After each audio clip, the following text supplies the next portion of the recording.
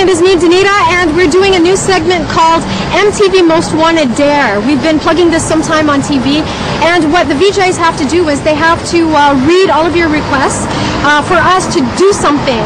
I actually thought that the requesters were going to have to do something, and I thought that wouldn't work. But when I found out that the VJs have to do it, like, what choice do I have, right? Envelope, please. I'm really shaking.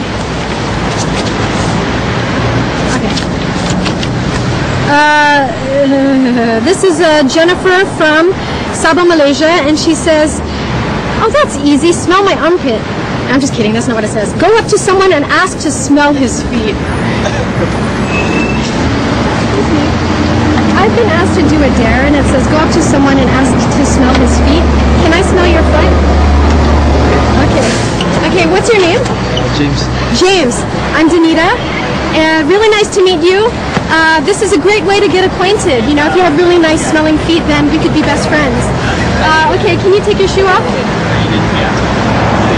I, I don't know this guy. Do you have fungus or anything like that? Okay. Bring it up, baby.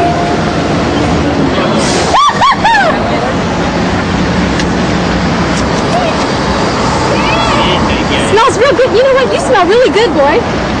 What do you use, like uh, Dr. Scholl's or something like that? I use particular. Okay, nice to meet you, James. Thank you so much for doing that.